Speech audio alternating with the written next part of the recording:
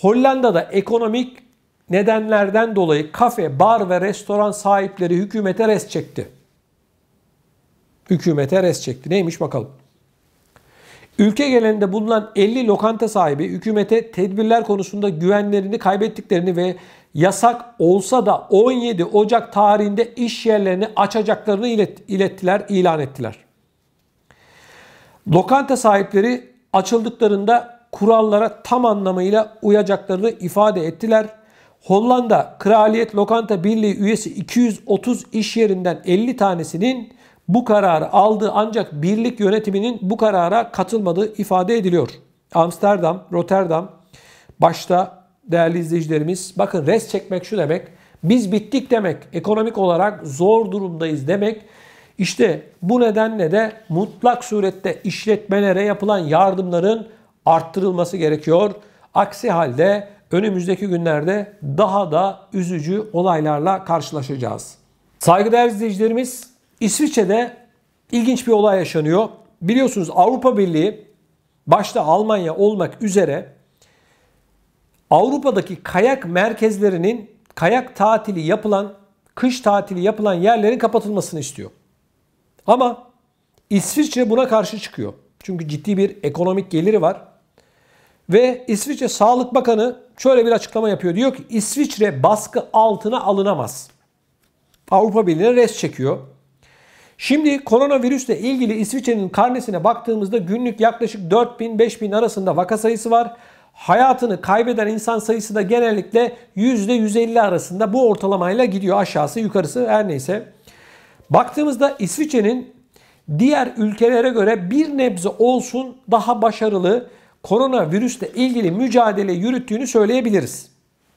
Ancak pandemiyle ilgili Avrupa Birliği'ndeki bu giriş çıkışlarda vesairelerde toplu hareket edilmesi gerektiğine inanıyor. Başta Almanya Başbakanı Angela Merkel olmak üzere Avusturya'da Merkel'in bu kış tatiliyle ilgili görüşüne karşı çıkmıştı. Avusturya Başbakanı Kurz da karşı çıkmıştı. Şimdi İsviçre'den de bir karşı çıkış geldi. Bakalım İsviçre'deki durum ne olacak? Sağlık Bakanı Elyen Berset bir açıklama yapıyor. İsviçre'nin pandemiyle mücadele tarzının en doğru yol olduğunu savunuyor ve endişeye mal verecek bir durumun olmadığını ifade ediyor. Bakan her mücadelenin bedeli olduğunu savunuyor ve kış sporlarıyla ve özellikle kayak turizmi alakalı şunları söylüyor. İsviçre'nin yurt dışından baskı altına alınmasına izin vermeyiz. Almış olduğumuz yol bizim başarılı bir yolda olduğumuzu, başarılı işler yaptığımızı gösteriyor. Kış sporları Noel ve yılbaşı tatilleri döneminde herkesin daha dikkatli olması gerekiyor. Var olan tedbir ve önlemlerin yetersiz kalması durumunda her an daha sert tedbirler alabiliriz diyor İsviçre Sağlık Bakanı değerli izleyicilerimiz. Şimdi İsviçre Kanton Wallis'te bir gevşeme kararı çıktı. Bakın neymiş bu bakalım. Kanton Wallis yönetimi tedbirleri gevşetme kararı verdi. 14 Aralık'tan itibaren restoranlar saat 23'e kadar yeniden açılacak. Toplantılar özel sektörde çocuklar dahil 10 kişi ile sınırlı kalacak. İşte yani bu açıklamalar aslında bu gevşetmeler bakın hepsi geçici.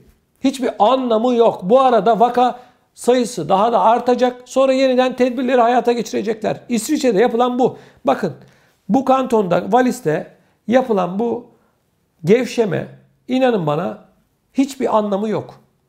Bu arada hastalar birikecek. Sonra göreceksiniz tedbirleri ben size yine açıklayacağım burada. Sürpriz olmayacak. Ve tedbirler tekrardan sıklaştırılacak.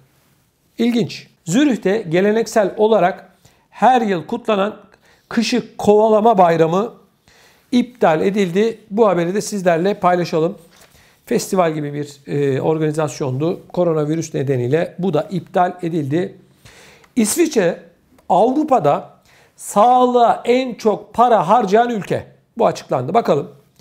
İsviçre sağlığa gelirinin %12'sini ayırarak ilk sırada yer alıyor Avrupa'da. Avrupa sıralamasında Almanya %11,5 ile ikinci sırada, %11,3 ile Fransa üçüncü sırada.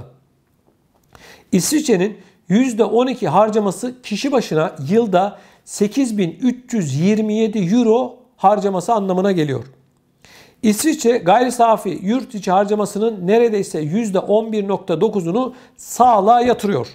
Bu rakam diğer Avrupa ülkelerine göre en fazla harcama yapan ülkenin İsviçre olduğunu bize gösteriyor. Yine Avrupa İstatistik Ofisi Eurostat tarafından bu durum topluma açıklanırken sıralamada İsviçre 8327 euro, 6969 euro ile Norveç en son sırada, ilk sırada İsviçre, son sırada Norveç yer alıyor. İlginç, Norveç'in de kişi başına düşen milli geliri yaklaşık 120 bin dolar olmasına rağmen demek ki böyle bir para ayırmayı uygun görmüşler.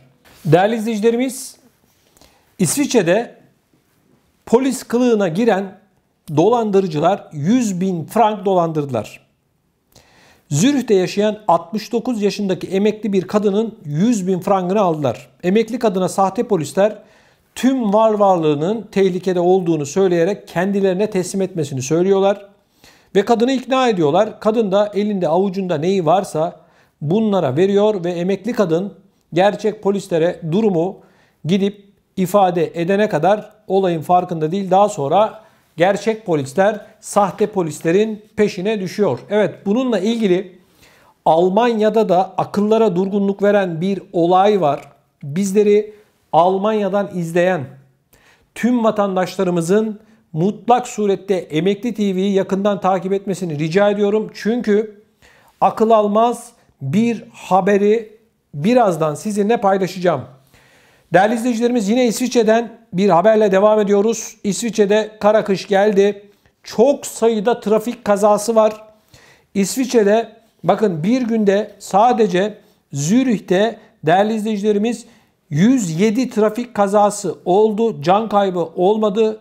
Bu nedenle trafikte daha dikkatli olunması yönünde haberler alıyoruz, uyarılar alıyoruz. Yine Almanya'da değerli izleyicilerimiz buzlanma sonucu çok sayıda kar yağışı ve buzlanma nedeniyle çok sayıda e, kaza haberi geliyor. Yine Hessen, Rheinland-Pfalz eyaletinde özellikle kar yağışının etkili olduğu ifade ediliyor. Bu nedenle dikkatli olunmasında fayda var. Yine İsviçre'den bir haberimiz var. İsviçre'deki haber şu. 40 milyon yıllık kılıç dişli kaplan fosili satılığa çıktı. Kılıç dişli kaplan fosili almak isteyenlerin yaklaşık değerli izleyicilerimiz kaç para ödemesi gerekiyor? 80 bin euro civarında bir bedeli varmış. Almak isteyen varsa kılıç fosili neymiş? Kılıç dişli kaplan İsviçre'de alınabilir. Enteresan %90 oranında sağlanmış 40 milyon yıllık fosil tam fosil. Değerli izleyicilerimiz Zürih kanton polisi ve savcılığı uyuşturucu ticareti yapan Nijeryalı bir örgütü çökertti. Yaklaşık 200 şüpheli gözaltına alındı. Şüphelilerle beraber 800 bin frank nakit para ve 15 kilogramda uyuşturucu ele geçirildi. Yapılan açıklamaya göre 5 yıldır takip ediliyorlarmış ve sonunda da düğmeye basılmış. Allah onları bildiği gibi yapsın bu millete uyuşturucu getirip satanların Allah nasıl biliyorsa öyle yapsın. Allah ıslah etsin onları.